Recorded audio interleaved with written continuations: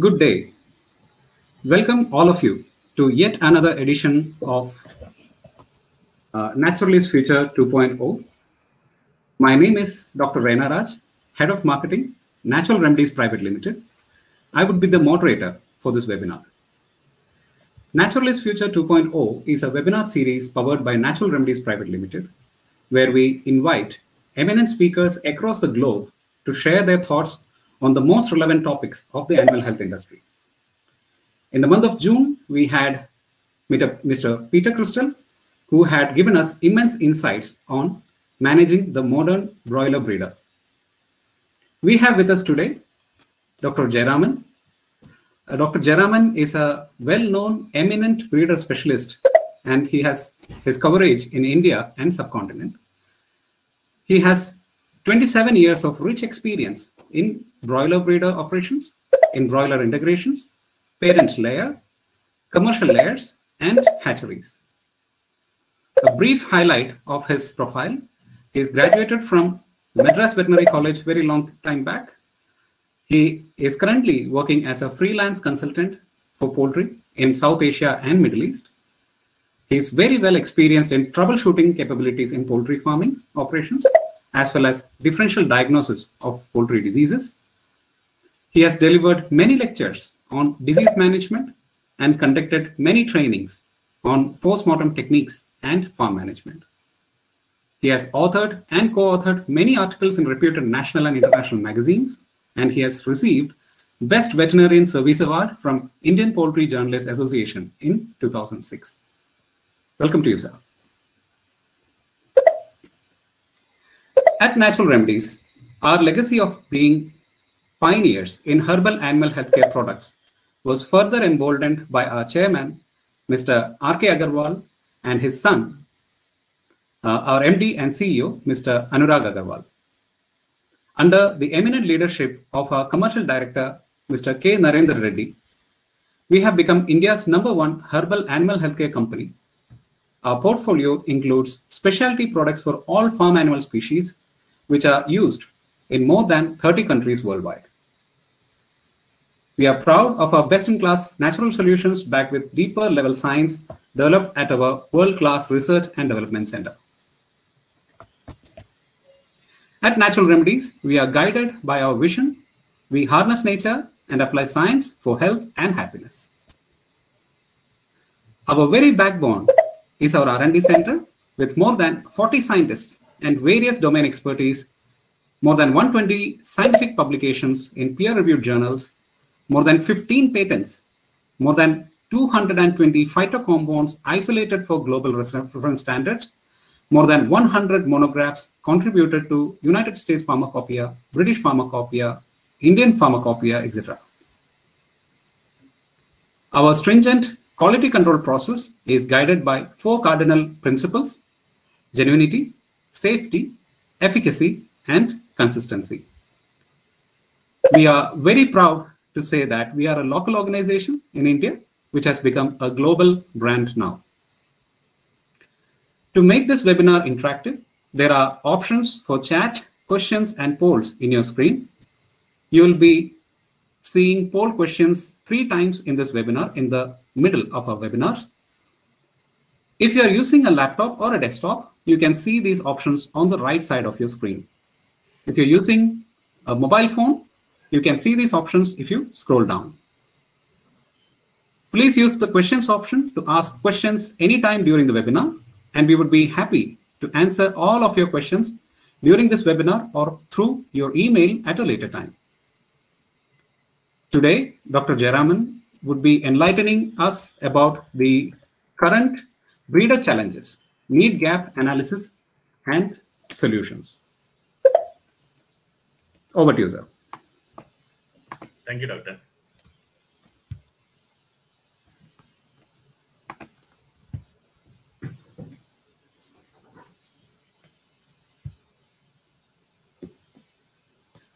Um, Dr. Raina, uh, yeah.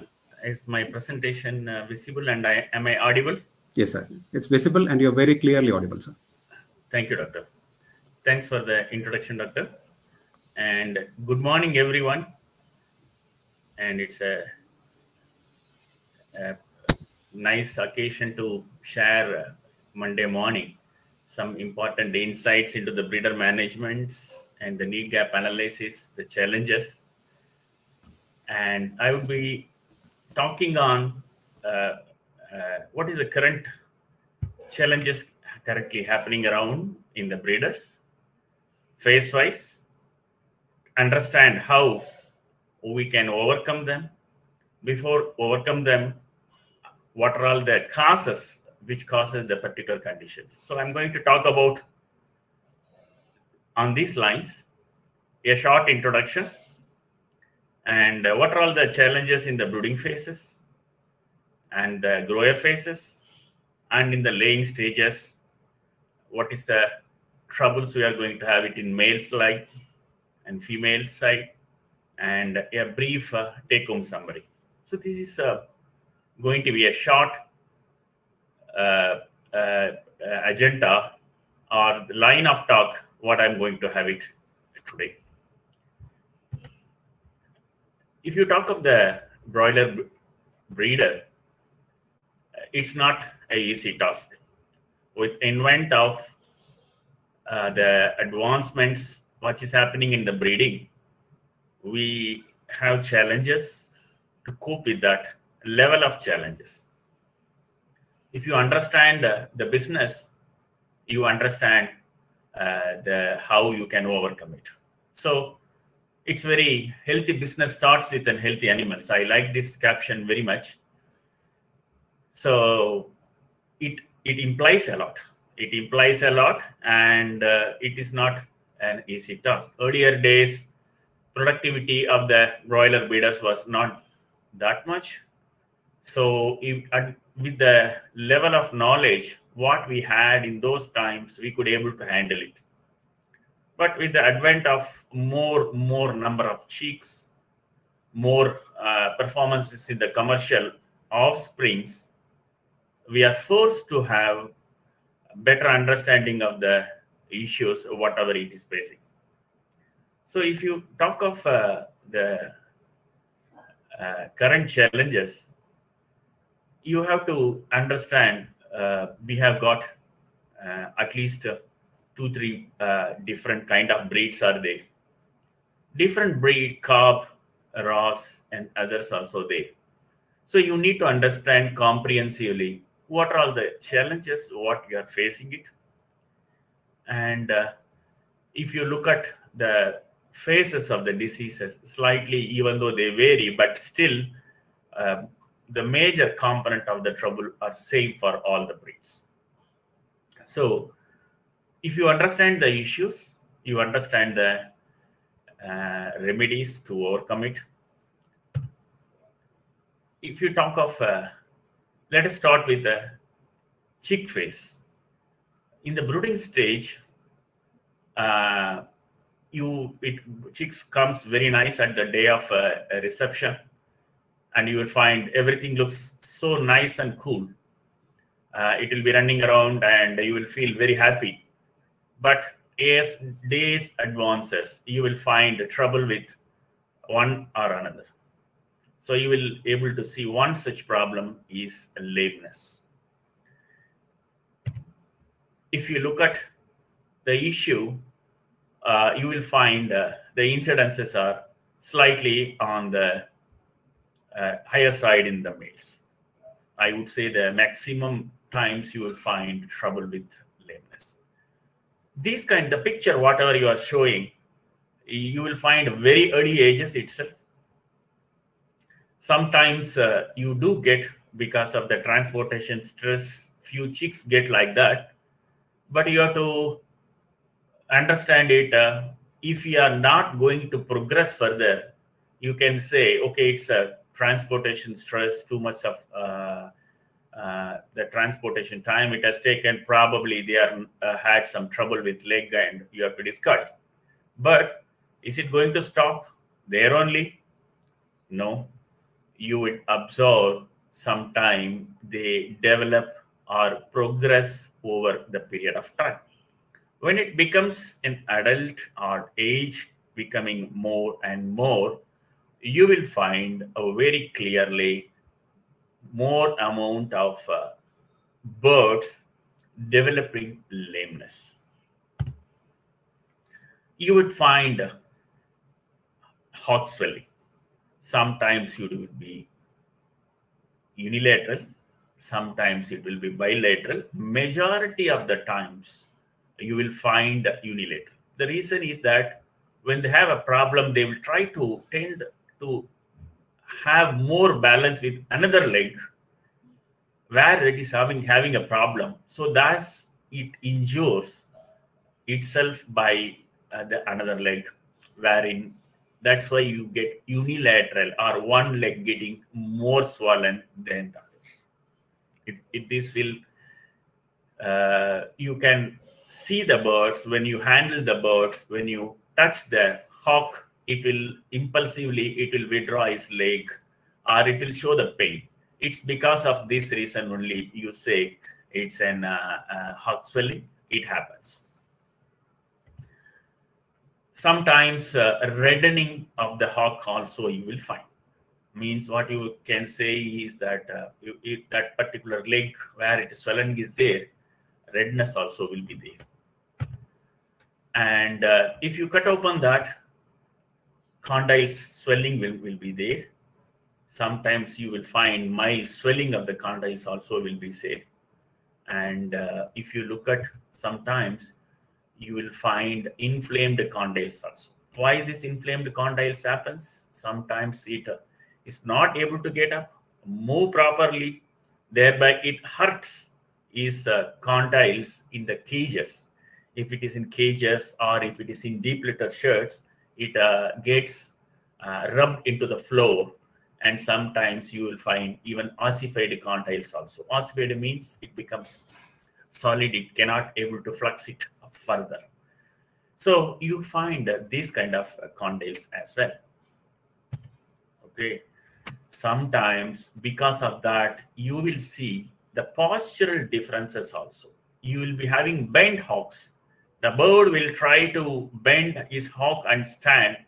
If you look at this bird standing position of this leg if you see you find it's bent as if it's like a board legs if you see the human being you might observe the board legs the similarly the board legs will be there or bent hocks will be there in terms of uh, for the birds okay if you look at it here comes the clue you will find sometimes swollen plantar surfaces. You will have swelling. You will not see that only in the hocks. You will find swelling in that the bottom of the leg or uh, uh, this one. You will find uh, swelling also in the legs will be there. If you ask the reasons, sir, majority of the people will try to address saying that sir leg leg weakness is there i think some calcium phosphorus deficiency uh, probably we have to had it something uh, uh, corrected. Some people will try oh no probably uh, d3 will help. Is it a deficiency? Is it a disease? Or is it a faulty brooding? These are all the questions will come to your mind. Some people will think, okay, no, this is lameness is because of uh, the trace minerals. They try all the combinations of uh, calcium phosphorus or D3 or trace minerals. So we have to understand what is that exactly the issue is. All right. Yes, sir. Uh, thank you so much, sir. Uh, we would go for the first poll uh, in this webinar. Uh, dear uh, uh, participants, if you can see the polls option towards the right side of the screen, you can see a poll question already there. I'll read out that poll question. Uh, at what age do we think the first debeaking of the male and female chicks should happen? The first debeaking, at what age it should be? Uh, there are multiple options given between 30th and 40th day, between 10 and 14th day, in the fourth week, or none of the above. If you have any difference of opinion, please register your votes. You can take 10 uh, seconds of your time and uh, register your poll there.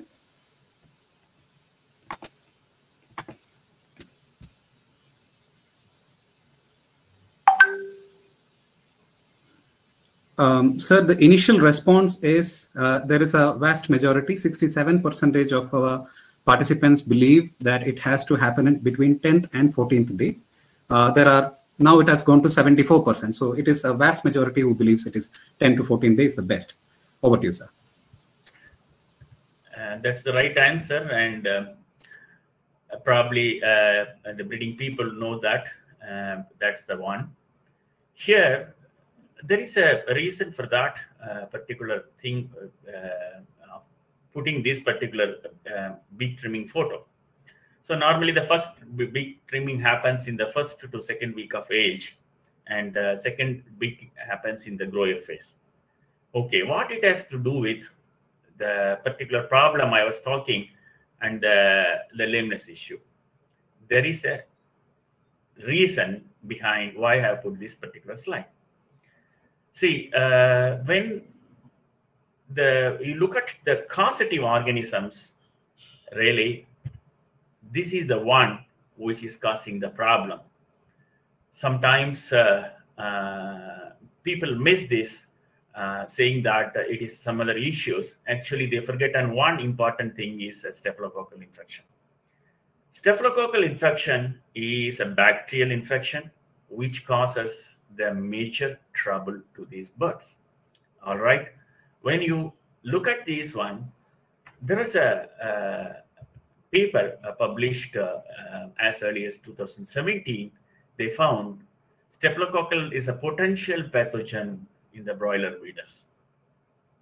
They found earlier this was implicated in BCOs, that means bacterial chondronecrosis and osteomyelitis in the broilers, but this is the step along with aureus, Staphylococcus agnetis also is a major pathogen in the poultry.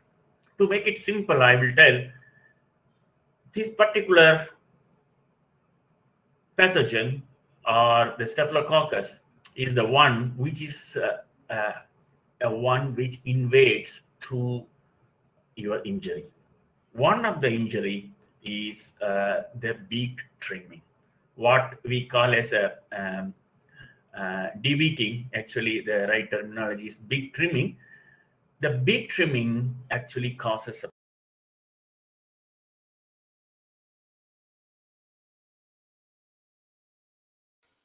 Okay. Uh, I think we are experiencing a little bit of a internet connectivity issue from our speakers end. We'll, we'll just wait for a couple of minutes uh, by the time Jayaraman sir comes back.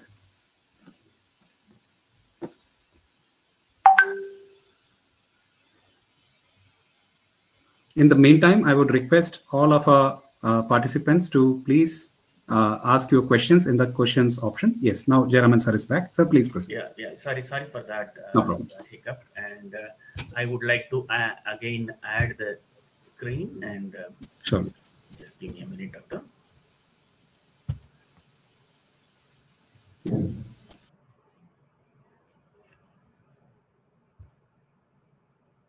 Okay, is this screen visible now, doctor? Uh, yes, sir, it is visible. Yes. Yeah, so, sorry for the hiccup. And uh, the Staphylococcus is the one uh, agent of which we miss uh, many a times. So when you look at the issues, as I mentioned earlier, uh, sorry, when you look at the, these things, it invades through the injury. When you are going to beak trim the birds, it invades into that one. Probably you might ask another question, sir, when that is the case, why uh, we have slightly higher amount of injuries or why, why we found higher amounts of uh, the incidences noticed in the uh, male breeders, not in the female. I would probably like to say you can, uh, males have got the longer shank length when compared to the females. The articulations is slightly more difficult for the male breeders and the second thing is when you have uh, the trimming of your comb in the male, that is also an, another injury. These are all the probable reasons why you are getting uh, these issues uh, to the males. So when you look into that, that is the reason. In uh, some of the times the advice happens do not give the initially uh, the phases of uh, time you don't give antibiotic. Do the antibiotic therapy post beak trimming. So this is the reason for your explanations. Right. What could be the the best choice of the treatments would be it could be the penicillins or the derivatives of penicillin amoxicillin is the better drug of choice. It works well for this one. It has got a very good spectrum for this organism and it reaches the synovial joints. Normally some of the drugs commonly what we use don't reach the synovial joints. They don't have that spectrum. So either you could use a streptopenicillin or uh, benzathine penicillin which is a long acting or you could use amoxicillin. So when you do so you give the best uh, treatment for these ones. So my suggestion on this topic would be you could avoid first week antibiotic. Rather than you can use a probiotic and once the beak trimming has happened you could uh, go with uh, antibiotic so that it covers. So what should i do in the first week sir? You can go with the probiotics or sort, sort of things and uh, uh, you can postpone your antibiotic therapy to the second week it gives the very best results. And similarly my suggestion is also antimycoplasmal therapy also you can combine in the second week. So that gives the best coverage for your uh, uh, your this particular problem right?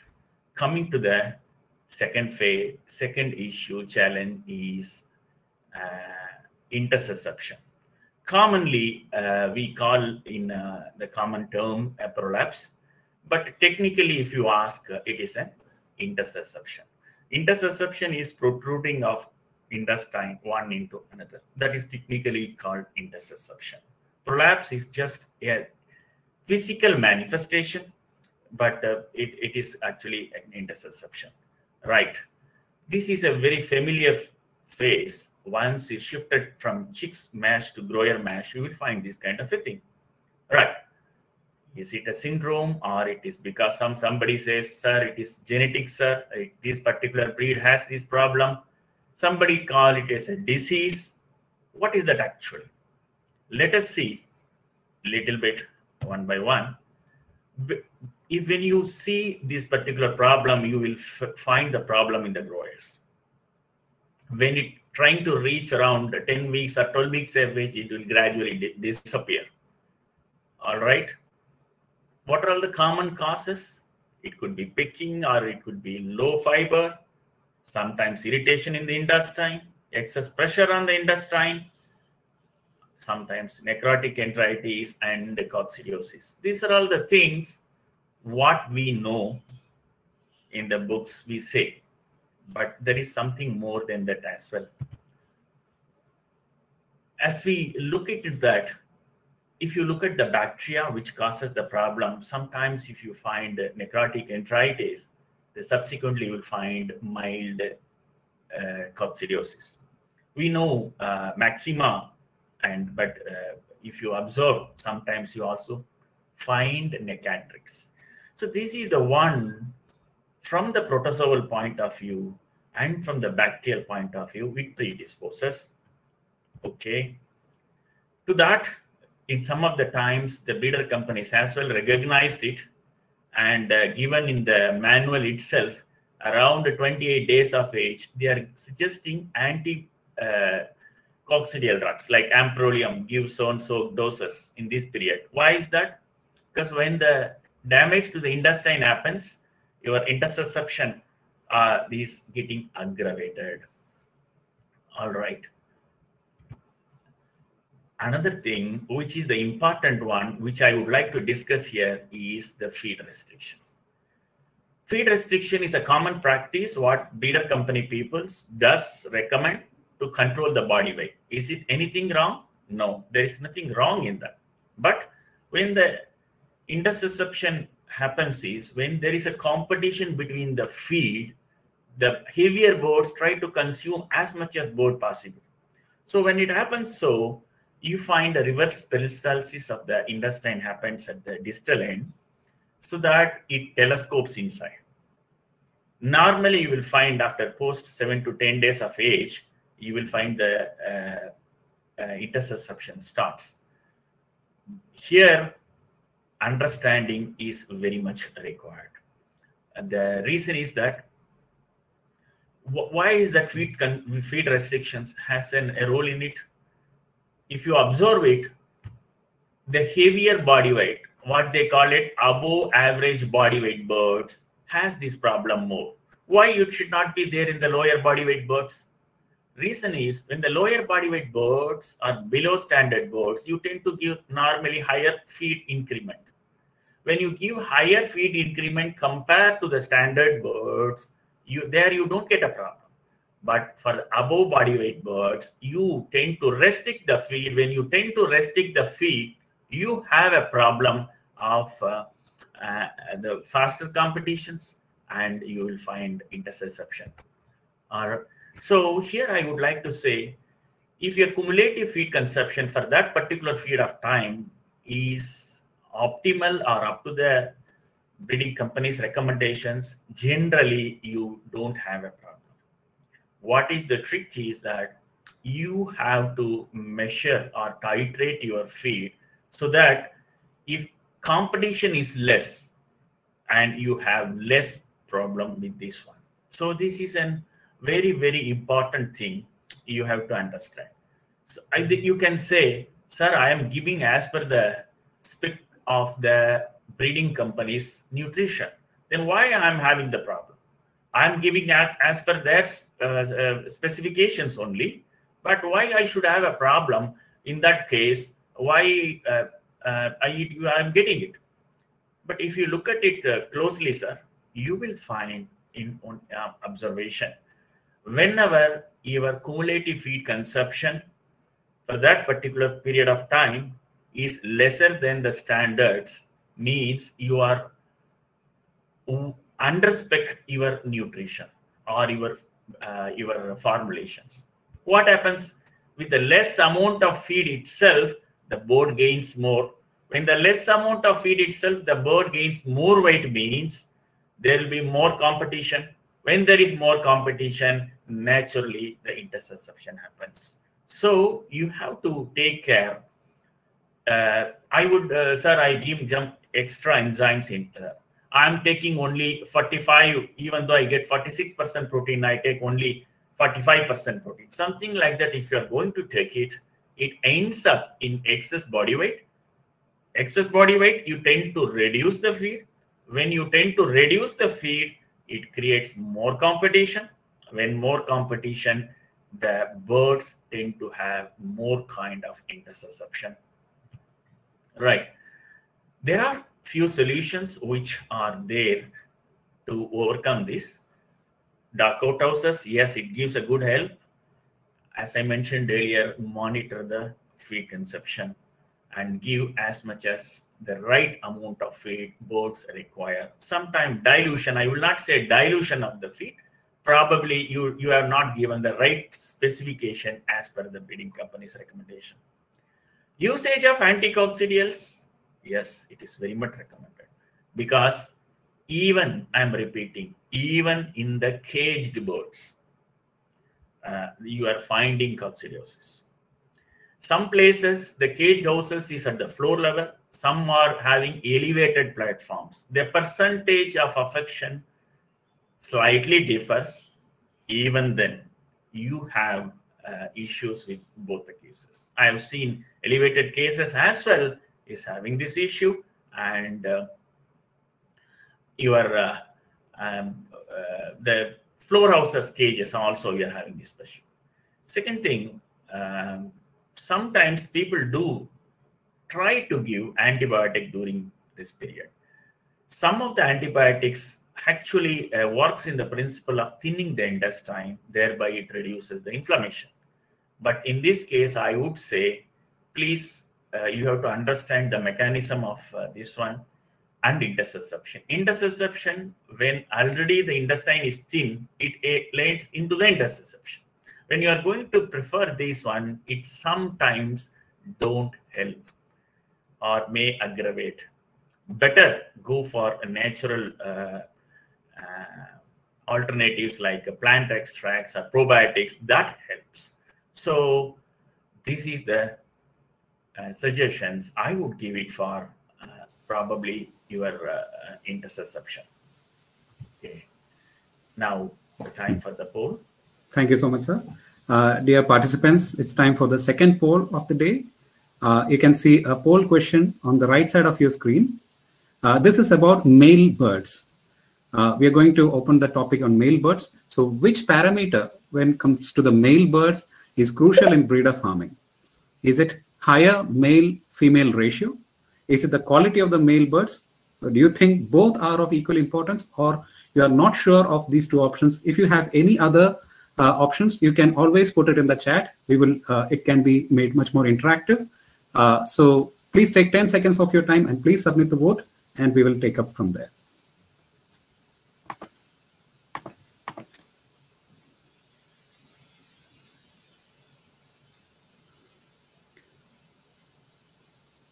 So the early response is that uh, the quality of male birds as well as the higher male-female ratio, uh, both are being given almost the same priority. Uh, over to you, sir. Okay. Uh, if you look at that, uh, uh, the answer for this particular thing, you will get it in layer stages issues. I would I'll go back and explain that again in that these things. In layered stage, we have got not only issues with the females and the males, males also have some issues. For example, higher depletion. We'll, we'll talk one by one on these things. Coming to the first male, normally if you look at uh, the producing cage systems, you will have uh, the space for 1 is to 10 or sometimes 1 is to 9 in the laying houses.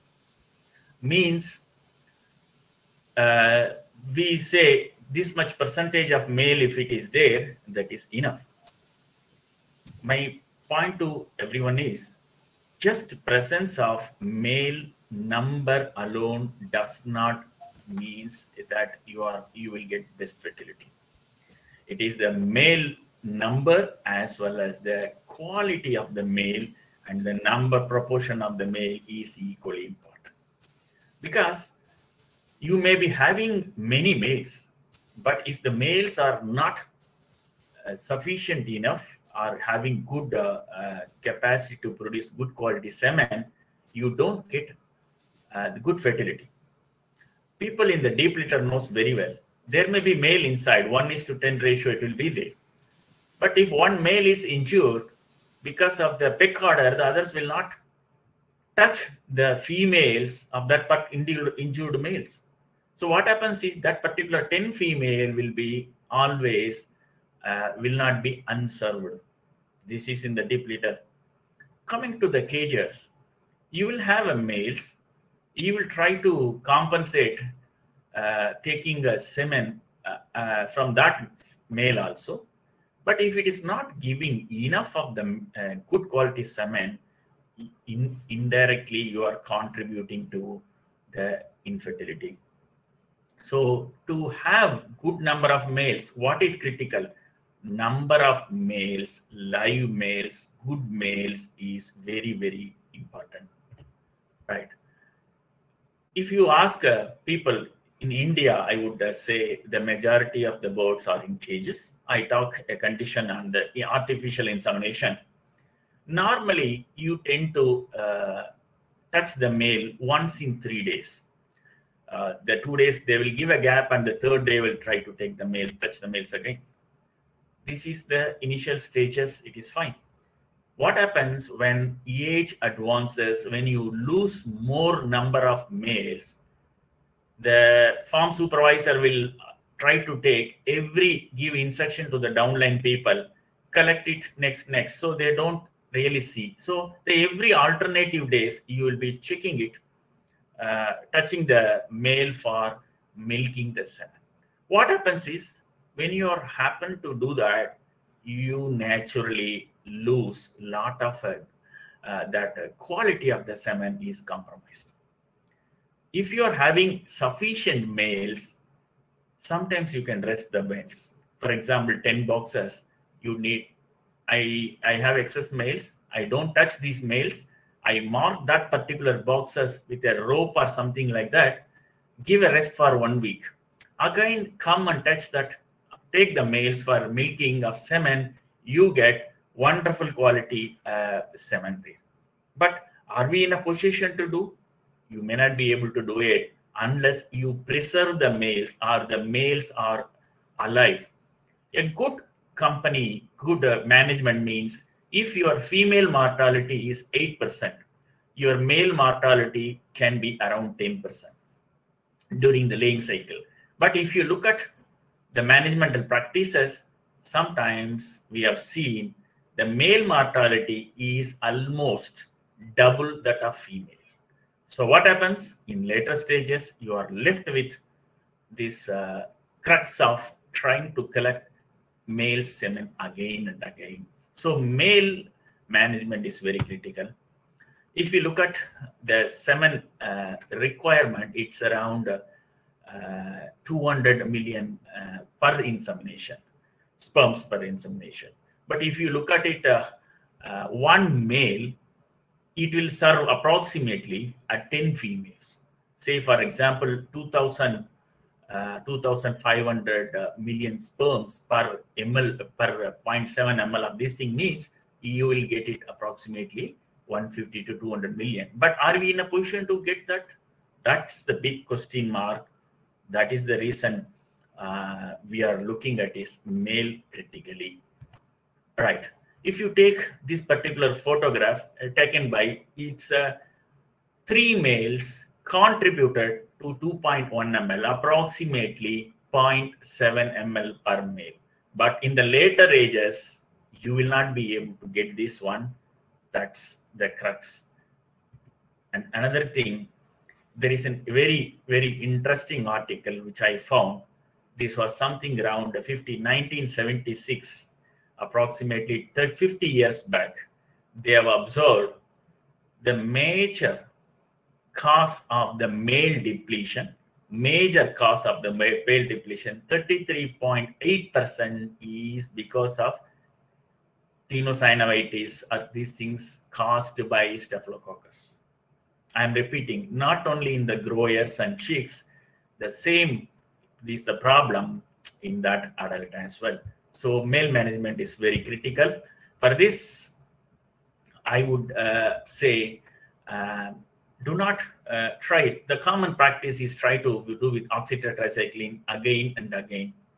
I would prefer you rotate it with penicillin, amoxicillin. Sometimes you could also do with tylosins so that it helps in the this one. And in the later stages, as age advances, you don't have big options uh, to preserve it because naturally the semen quality and quantity goes down.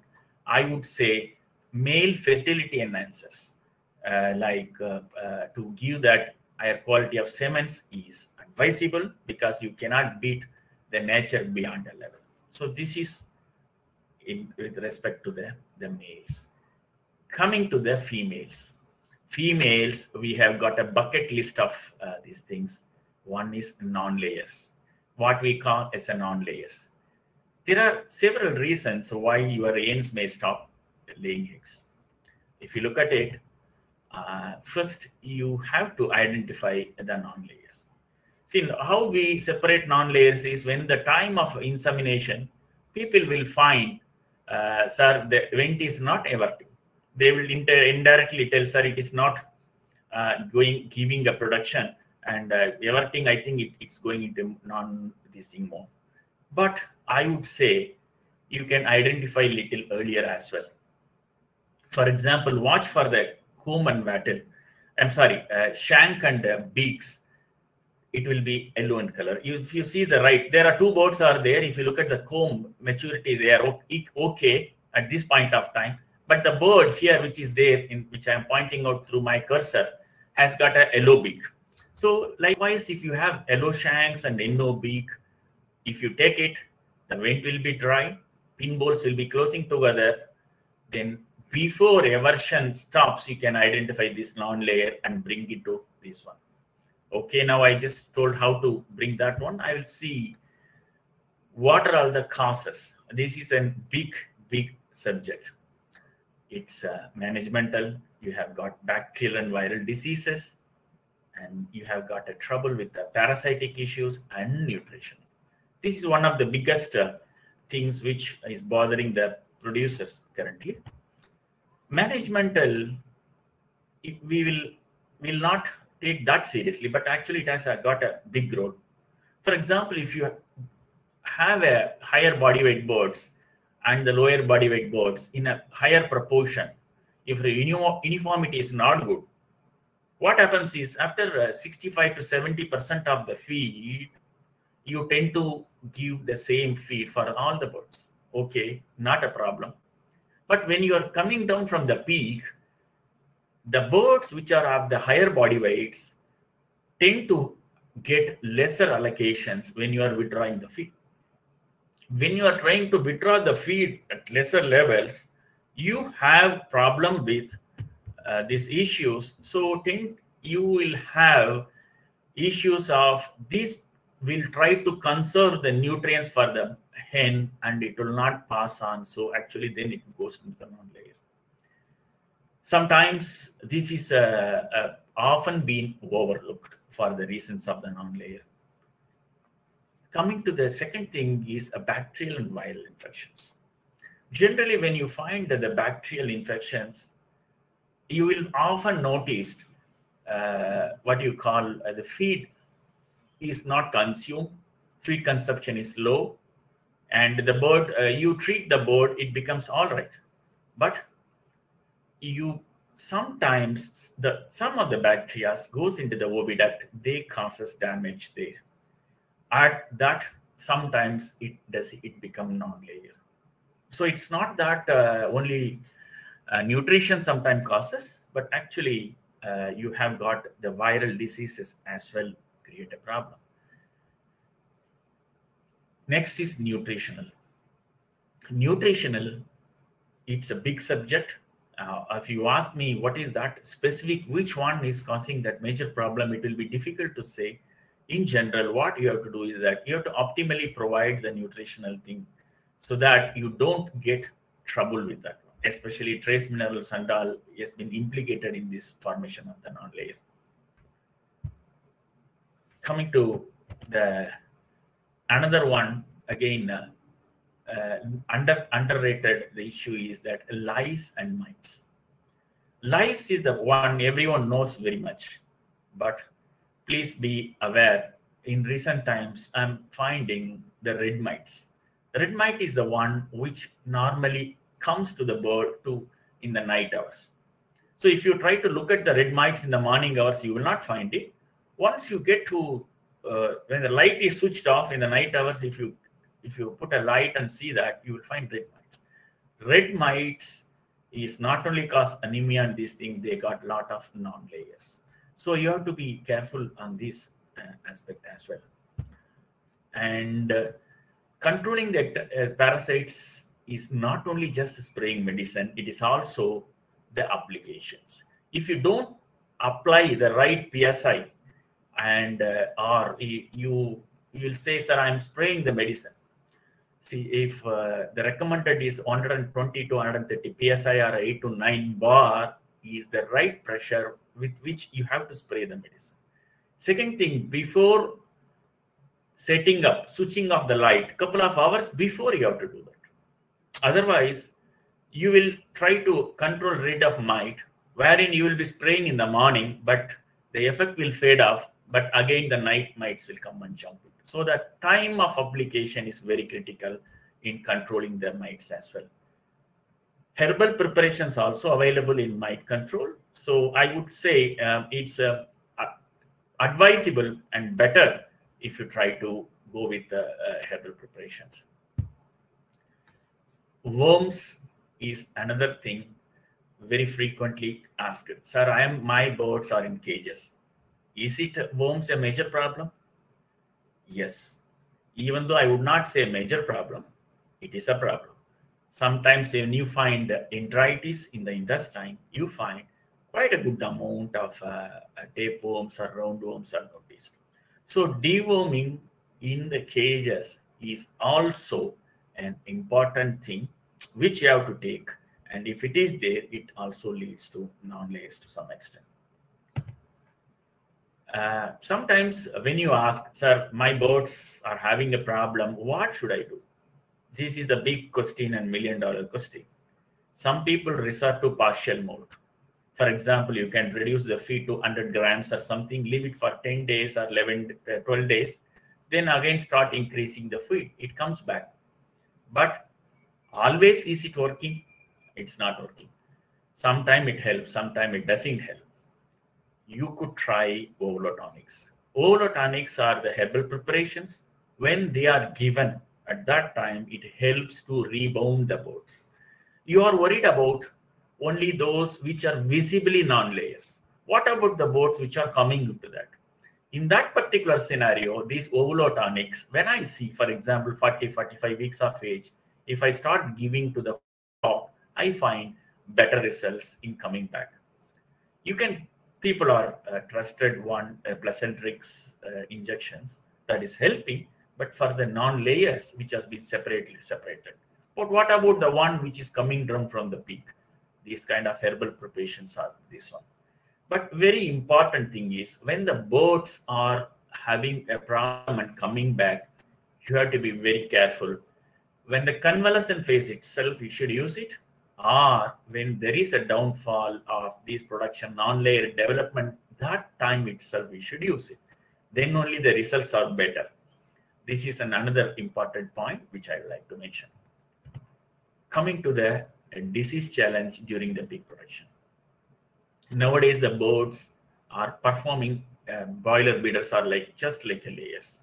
They lay eggs very nicely and the peak is very good Suppose if you're having these kind of uh, issues, what you can do, you have to make the bird very nicely primed or protected for your basic uh, uh, challenges. Okay, this uh, time for another poll question. Uh, thank you, sir. Uh, it's time for another poll. Uh, now, please uh, look into the polls option, you can see one new poll question. It's a very uh, you know straightforward, simple question, which it's very very important, and we are going to open up that chapter now. Is vaccination the only way for immunization? If your answer is yes, please state yes or no or not sure. You have 10 seconds of your time. Is vaccination the only way for immunization?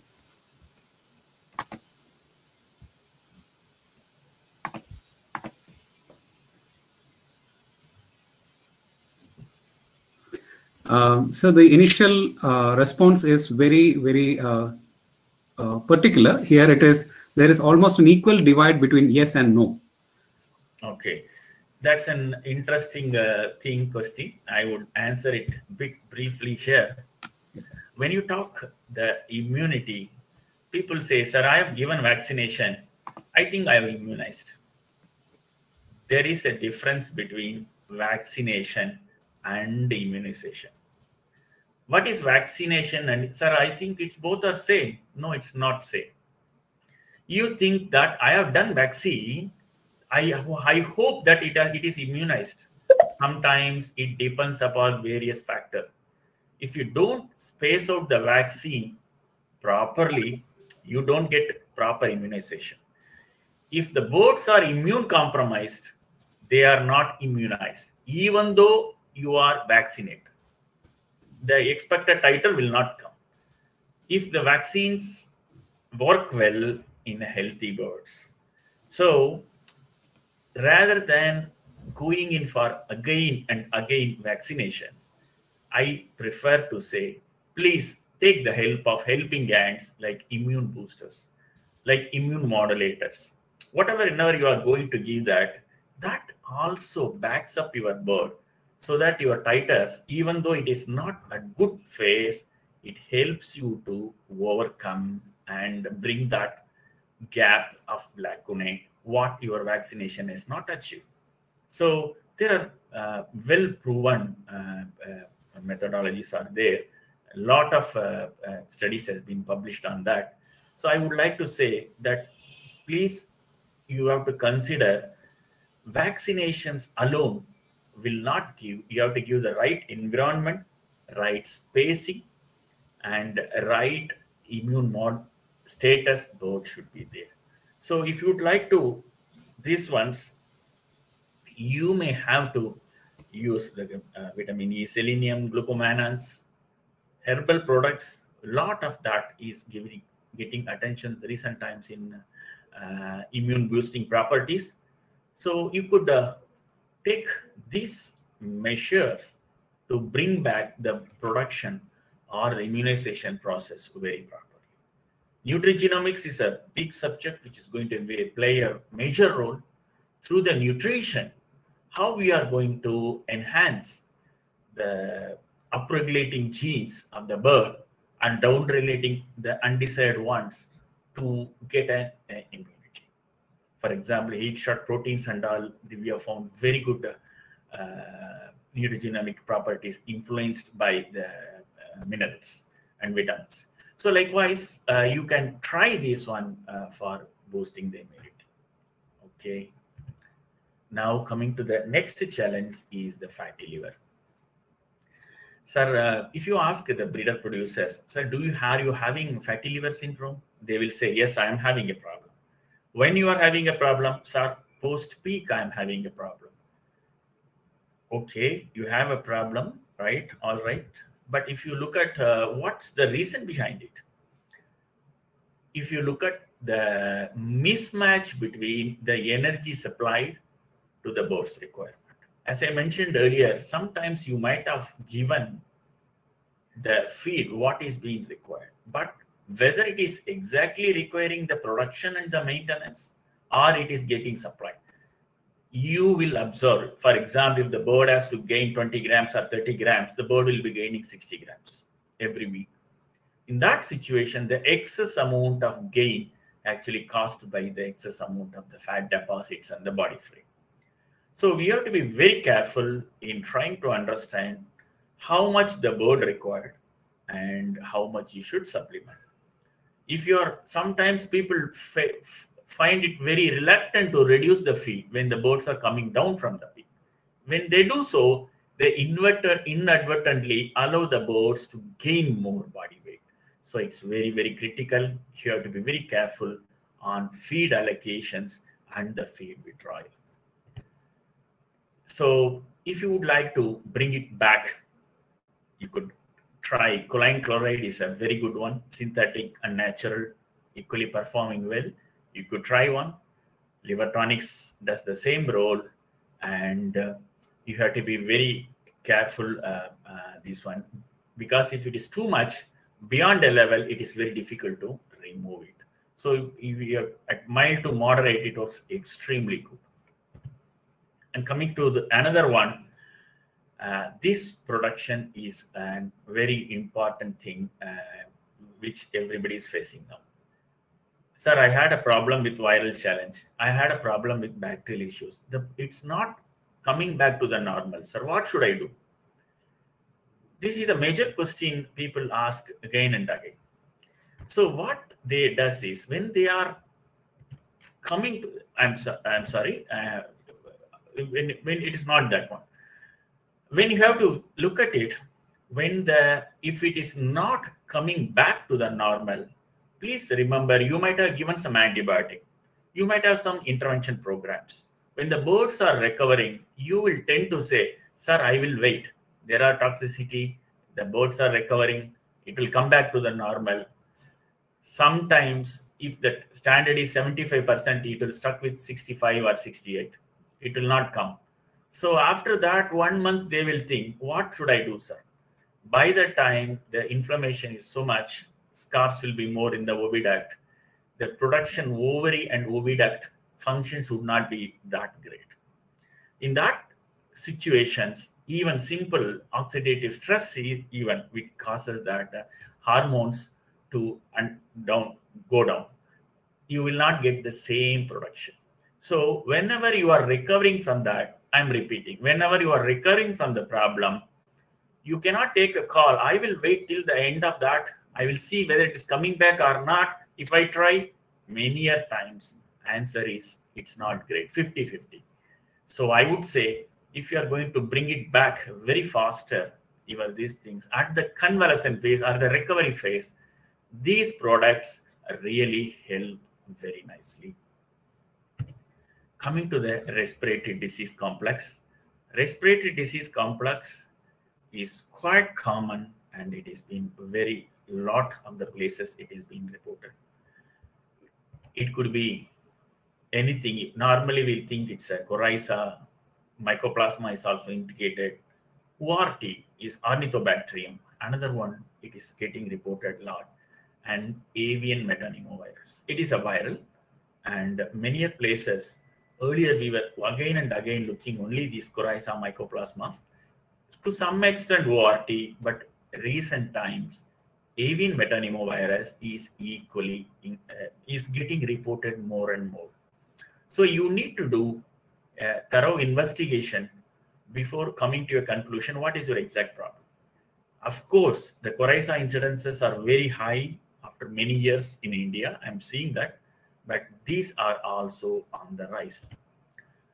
As I mentioned earlier, don't uh, if uh, uh, you have to understand the issues and try to uh, do them. Sometimes people use uh, so much of this product on triple salts like Virkon S. It is a good thing, it controls, but again, if you are overdoing it, I've seen in many places, they found liver damage and ruptures. When we stopped these chemicals, we found the bird itself has recovered on its own. If you would like to control respiratory infection and all, please use herbal products are there. Lot of uh, herbal with essential oils are there. They are safe and it is giving very good results. So you have to be understand that very importantly. And uh, enteritis is the one which is very, very common. It is caused by many reasons. Non-specifically, if people think if it is an enteritis, immediately they jump into some sort of an antibiotic and trying to control. You could find sometimes toxin also causes, worms also causes, chemical toxins, and sometimes necrotic. You have to understand when your egg selections are bad, if your intestinal health is bad, you will not get the best performances. So you have to be very careful with enteritis, right? So you have to remove the root cause and run it. Don't just go in for uh, if it's an enteritis, I'm going to give these medicines. It's not going to help you. Sometimes, if you are not quite sure, antidiarrheals are there herbal antidiarrheal preparations are there and chemical antidiarrheal preparations are there. You could go for it. They are safer. Understanding the root cause is important. Coming to that, it is a combined strategy, health and nutrition comprising biosecurity is going to help you. And the take-home message for me from my side on this particular topic is there are challenges you have to understand the basics of it. Just spending money on assumptions actually uh, it uh, it is okay for some extent, but many a times it doesn't give you the best these things. So understand the root cause, understand how this happens, take the help of diagnostics, and go go for it. You give the better performances and your profitability. Thank you with this, I end my formal presentation. Over to you, Dr. Raina, for the Q&A. Thank you. Yes, sir. Thank you so much, sir. It was very in-depth, uh, mostly oriented around the health of the, the breeder birds. So I, I have, I'm getting quite a lot of number of questions. Uh, in fact, in our previous webinar also, we had a lot of health questions rather than the nutrition related questions. So uh, my sincere request to all our participants, uh, you can post any questions pertaining to the health or nutrition, anything related to the breeder. Uh, we will be very happy to answer right now or at the end of the webinar in, through your email. Uh, Doctor, so, did my presentation stop? yes. It is yes, stopped. It is, it is stopped. Sir. Yes. Thank you. Uh, so the first question that we have received yeah. on this aspect is uh, from one of the most uh, well-known uh, uh, doctor in our in, in Karnataka. Uh, so when to restrict feed? Uh, that is, at what part of age restriction? You know, uh, Yeah. the restriction has to be practiced, and what not to be practiced.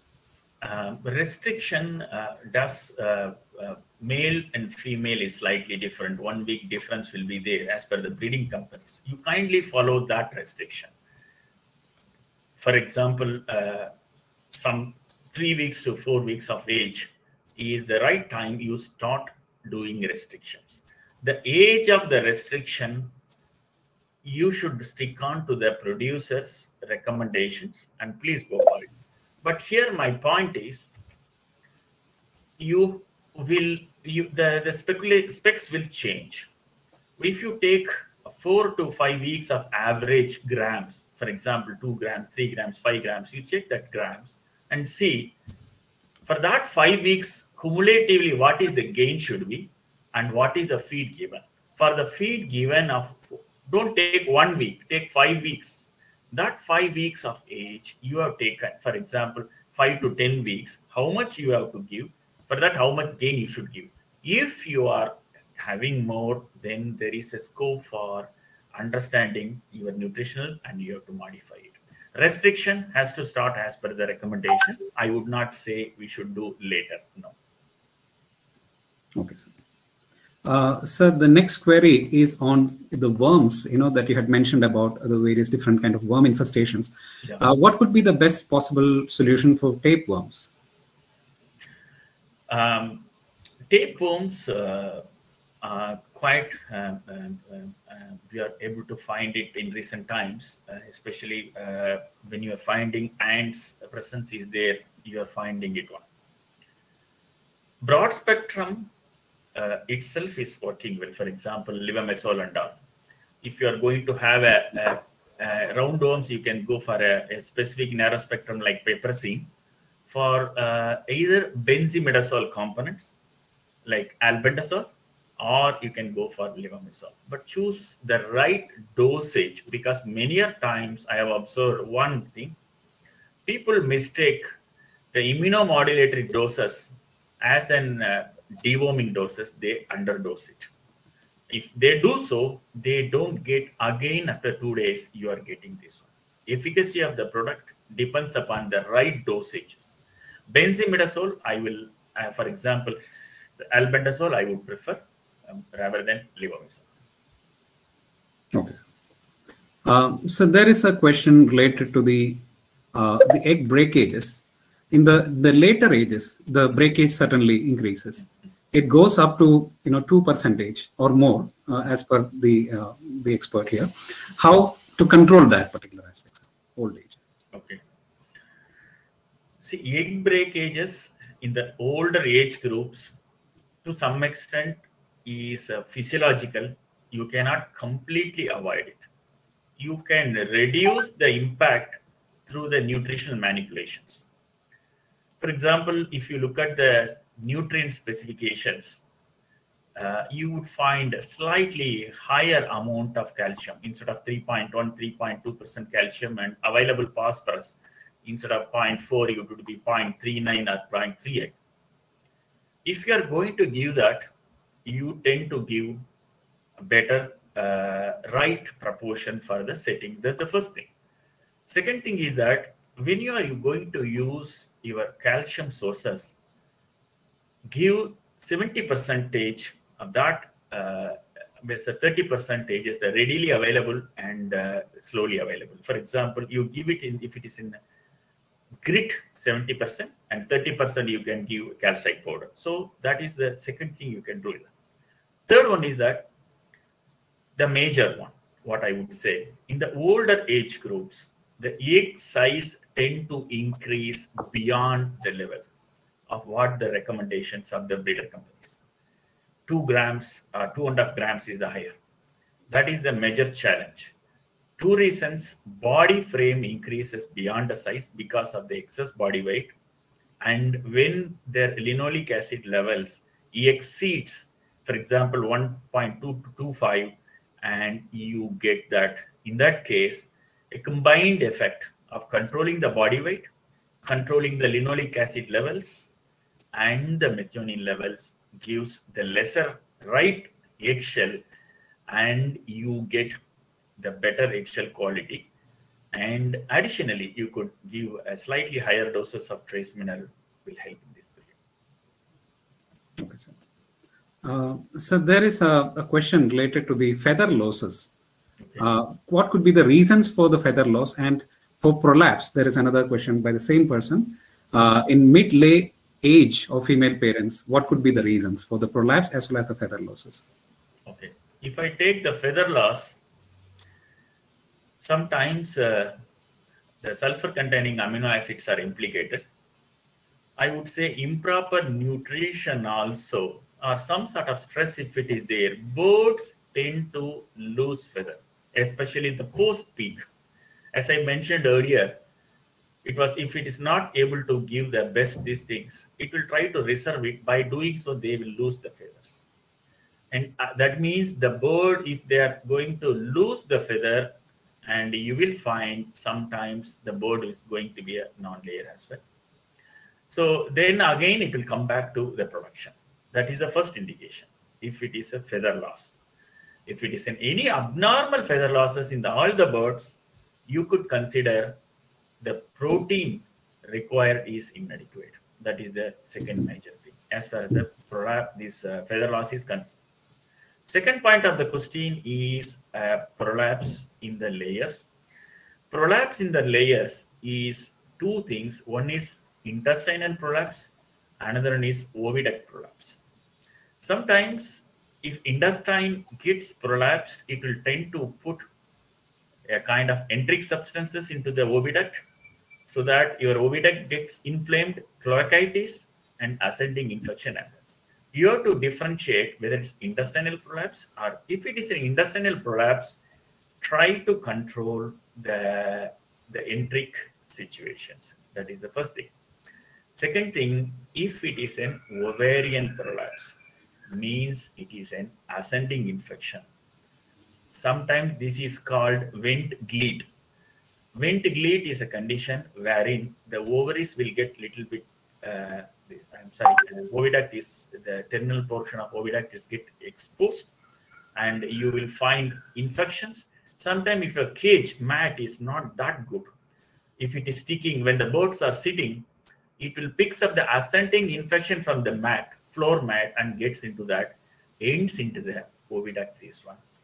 Probably uh, you can uh, give some uh, antibiotic uh, solutions on the top of it, oxytetracycline LA or Nimoy, and inject the same tetracycline long-acting, just like doing insemination into the oviduct, it becomes normal within one week. Okay, sir. Um, so there is a question related to vaccines, since you have good expertise in vaccines with your prior experience in Hester and in your general practice as well. Uh, what minimum gap we should give between two killed vaccines? Okay. Um, see, ideally, uh, uh, four to five weeks is the minimum. A minimum. Sometimes uh, it is uh, required depending upon the the level where you require the titer. You have to space it out. Sometimes uh, you give uh, eight weeks to ten weeks also. so it does not mean that there will be no this thing because when you are vaccination schedule is intended for protection of that bird and also the later stages. You will find very long gap as for example if you are doing first week ibh vaccination sometimes you get a vaccination at 20th or 22nd week. It's so big gap. But if you look at uh, the uh, vaccine they place 8 to 10 weeks of age so likewise, it depends upon the bacterial vaccine or viral vaccine and intended usage, whether it's for the commercial, whether it's for the parent, that decision has to be taken. There is no hard and fast rule, but minimum four to five weeks is the gap. Okay, sir. Uh, so there is one question related to the toxins in feed. Hmm. Uh, is there any possibility that there could be any change in the internal and external qualities of eggs due to toxins? Feed yeah. toxins basically yes yes Um, if it is in mycotoxins, uh, it is well recorded. It is well recorded. There is a change in uh, internal and external. If I come to the external, if it is in a toxin times, you will find the loss of the pink bun will be there. Sometimes you find uh, thin shelled eggs also you will get. This is the trouble with the external shell quality. Internal eggshell quality, you will find uh, uh, trouble. Sometimes the blood uh, spots will be there. It's not only happen with vitamin A deficiency, it also happens during the toxin. Sometimes the permeability got lost and you will find uh, the blood drops. Especially T2 amandal is very well documented that it passes through that. You will find change in the internal quality as well. There is a change will be there. Okay. Uh, so there is a very interesting uh, comment, and uh, the, the, the the requester is asking for your comment, expert comment on it. Yeah. Uh, it's about the bird flu vaccine, the avian flu vaccine. It is given in other countries like Bangladesh, Indonesia, etc., Mhm. but it is not legalized in India. What is your comment on that? Uh, Doctor, uh, I, when, I ask uh, uh, the experiences of other countries, it is working and it is helping. Uh, especially when it is the availability of the live and inactivated, it gives the best protection. For example, uh, H5, we are having the options with the response and uh, HVT plus uh, H5 in the day one, and followed with inactivated vaccines. In Bangladesh, we find that we have only H9 only inactivated. As far as H9 is concerned, they don't prevent the infection. When the infection comes, it takes it, but still, if the titer is good, it is getting protected. But in case of H5, the combined strategy of live and killed prevents the infection because it is a cell mediated immunity is very important there. It gives very good, but in Indian conditions, my personal opinion, it would be better if it is available because of the experience what I have from Bangladesh and other countries.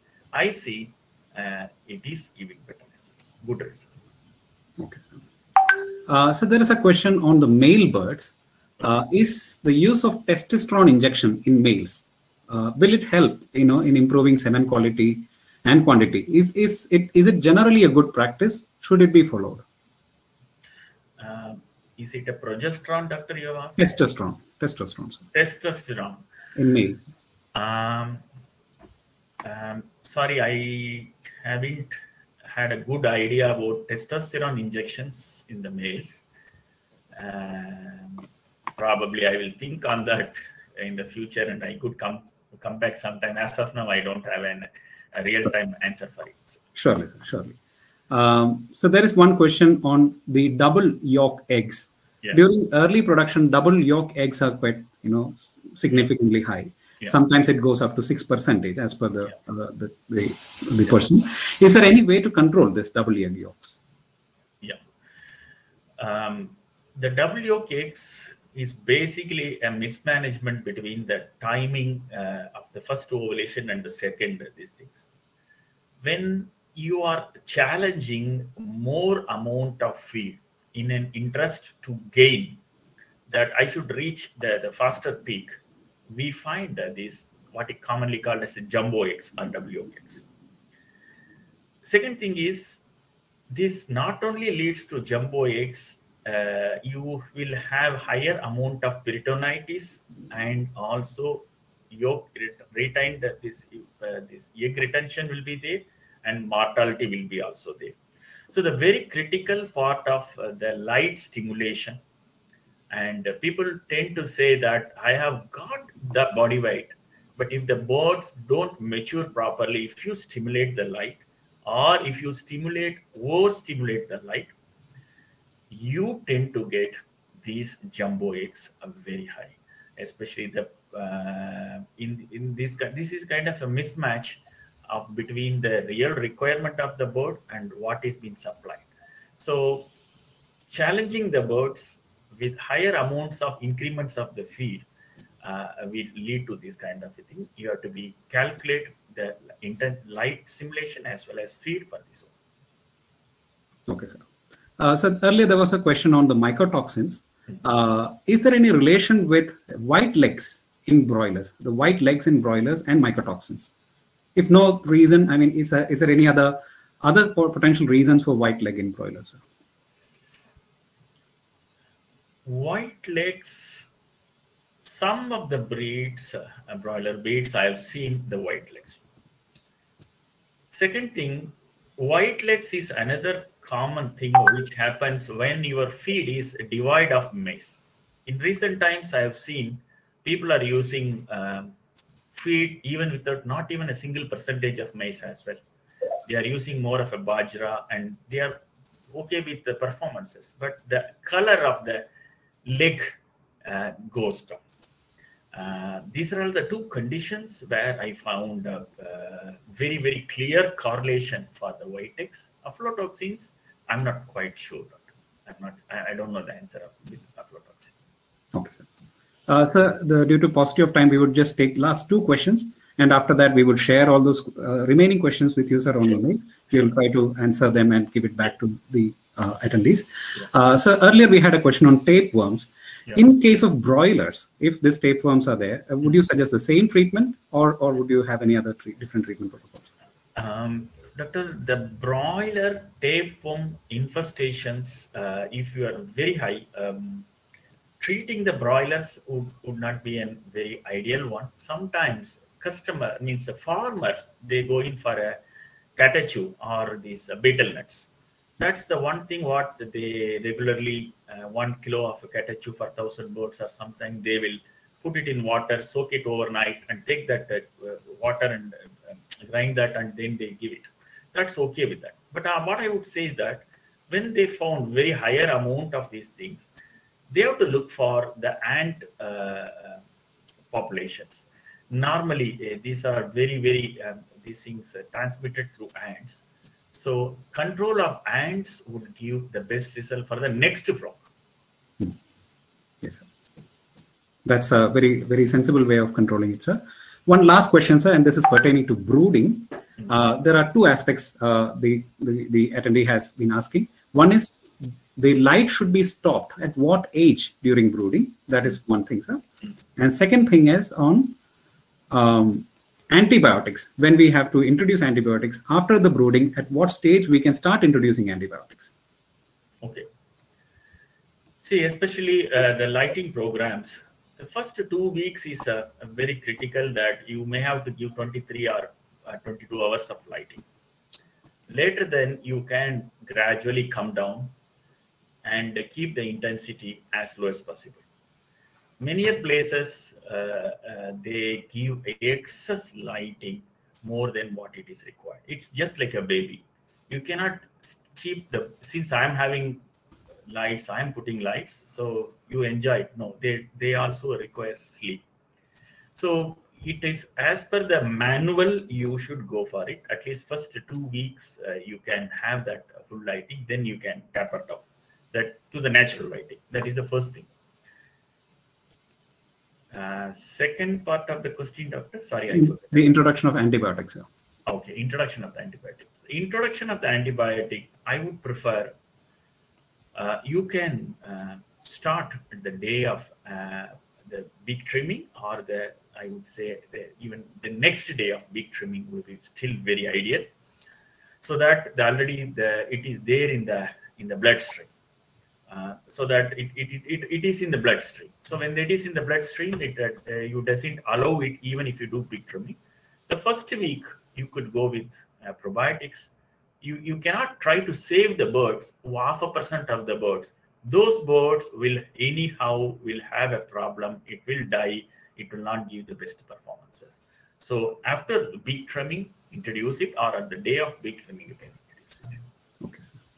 Uh, thank you so much, sir. You have taken a lot of questions, and uh, the the entire session has been very very insightful. Uh, there are much much more questions uh, coming in uh, through the chats as well as the questions option. So, and we have got a lot of questions even before you know the webinar started. Around a list of 14, 15 questions I have already noted it down, which uh, I couldn't answer most of them, which we have received prior to the webinar. Uh, I would certainly share these questions with you, sir, on email, and uh, we would get back to the customers with the answers for that, sir. And uh, uh, thank you so much, sir, for for your uh, time. Uh, and dear audience, it has been a very very fruitful, interactive session. You had shared all of your, you know, the questions, your your chats, your well wishes. Please keep on uh, attending our uh, webinar platforms. Uh, very shortly, we would communicate to you the next uh, webinar under the banner Natural is Future 2.0. Till the time we uh, meet again, uh, let's bid adieu. And please take care of your health. Try to get vaccinated at the earliest, and please stay safe from COVID. let's try to prevent the third wave coming in. Thank you so much, all. Thank you. Thank you. Thank you, everyone, sir. Thank you. Thank you, sir.